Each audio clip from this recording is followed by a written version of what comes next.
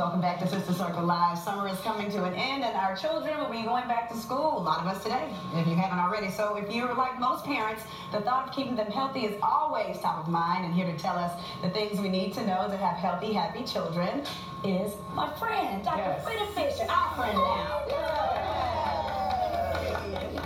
Yes, absolutely. Well, Miss Frita, I, you know, I gotta, gotta, gotta give, give the respect. Yes. Um, I the first question is is really challenging for me. Okay. Um, but I get mixed feelings. I mean, I get mixed opinions all the time. Immunizations. Mm. My son has autism. And so I worry about, you know, there's so much around immunizations being the reason behind autism or the symptoms of autism. What is your opinion? Because, in one hand, you don't want to perpetuate the you know what he has. And the other hand you don't want him to be unprotected right, mm-hmm. so what do you what what do you suggest?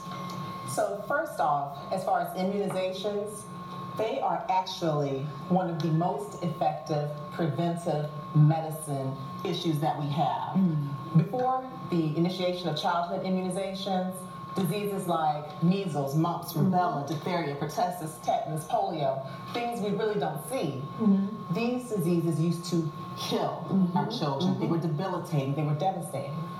Ever since childhood immunizations have been initiated, these vaccine preventable illnesses mm-hmm. have declined by more than 90%. All right. So overall, immunizations are an excellent way to keep our children healthy okay. going back to school.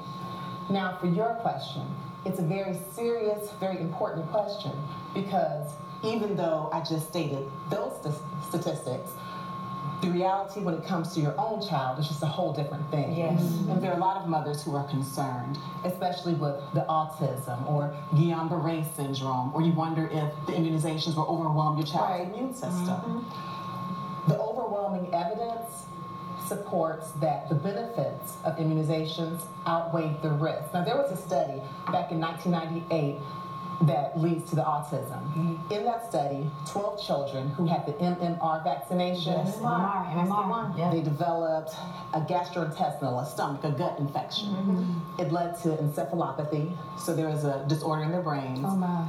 And initially, they thought that the cause of their autism was MMR. Mm-hmm. Well, several years, several years later, they actually found that that study was fraudulent, mm-hmm. and they cannot say mm-hmm. that the immunizations caused it. Okay, okay. That being said, as we know, there's so much waxing and waning and flux in medicine. So when it comes to your child, all you have to do is be well informed, be well read, and make the best decision you can make. Yeah. Because there are people who don't want immunizations because of religious reasons, mm-hmm. or they just don't want chemicals or things right, injected. Right, right. And I respect those mothers. I respect those parents. Yeah. Mm-hmm. The good thing is that because most people are immunized, there's something called herd immunity, mm-hmm. meaning when your child gets an immunization, it doesn't just protect her but it protects other children uh-huh. who either are not by choice or right. cannot be immunized. Right. Because some people who have immunocompromised states, HIV, cannot get immunizations, but we're still protected. Right. So it's just a personal decision. For a lot of us, uh, today was the first day of school. I know your babies yes. are going to go next week. Uh, you know, and there it is, the petri dish of a whole bunch of stuff. Right. How do we keep them from runny noses and all that stuff? Because I know it's going to happen. I know yeah, do vitamins work? Yeah, exactly. Yeah. yeah. I give my kids vitamins, and sometimes it helps. Yeah. Let me tell you, I give my children vitamins mm-hmm. as well. I give them vitamins as well. One thing to remember is that it's important just to have basic hygiene. Yes. Now, as mothers, we think our kids are so cute. Some moms think it's funny when your child sneezes in your face and you're, oh, he, he, he, he. Right. It's not cute. It's not cute. It's not. So even your young child needs to be taught basic hygiene cover your mouths when you sneeze, not with your hand, yes, mm-hmm. but with your elbow. Right. That way you won't get germs in your hand and then right. go shaking somebody's hand. Mm-hmm. Also, wash your hands. Mm-hmm. Use the sanitizing uh, Purell, things that help with infection. Mm-hmm. Teach your kids not to share combs. Mm-hmm. Yeah.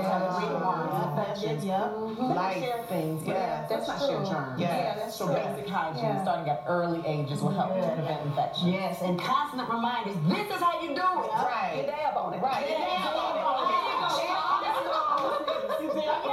Like that. So, Doc, part of keeping our kids um, protected is, you know, making sure they have environments where they feel safe. Yes. Um, first of all, we know the kids can be very cruel. How do we protect them from bullying?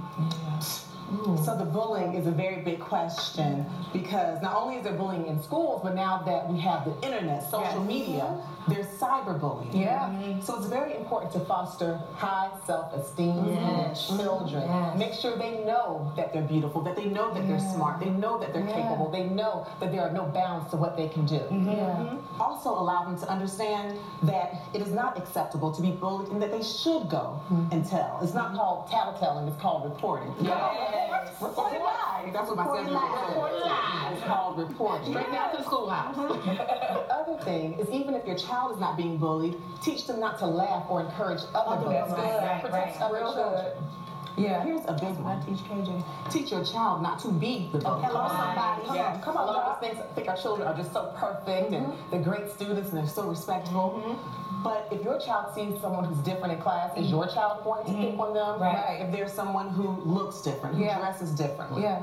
is Doc, your child the bully? How do we actually keep tabs on our children's emotional state? Oh, You know, what are some of the signs? Because speaking of bullying, we see a lot of children are now succumbing to suicide. Yes, That's a absolutely, What are some of those warning signs, really quickly? Mm-hmm. Very good. So some of the warning signs: sleep changes. If your child is all of a sudden being an insomniac, they can't go to sleep, or if they're sleeping all the time, mm-hmm. one in the afternoon, two in the afternoon, they just don't want to wake up. If they become isolated, mm, Yes. withdrawn, things that they used to love to do. If they love to play basketball, And now they don't want to do they don't want to play. Right. They love to sing. They love to dance. Not enough interest, lack of interest. A loss of interest Yes. is a big one. Also, if your child just starts saying goodbye, Mm-hmm. calling people, texting people, giving these long goodbyes that don't seem to make sense. Right. Good. That's real good. Friend, This is good information. Yes. This will be uh, one of many times you come down to the circle and have some Absolutely. information. For more information on what we just talked about, please make sure you uh, follow us on our website or our social media platforms. Up next, Gospel's Young Superstars, and they are the Walls Group. will be here. Yes. TikTok.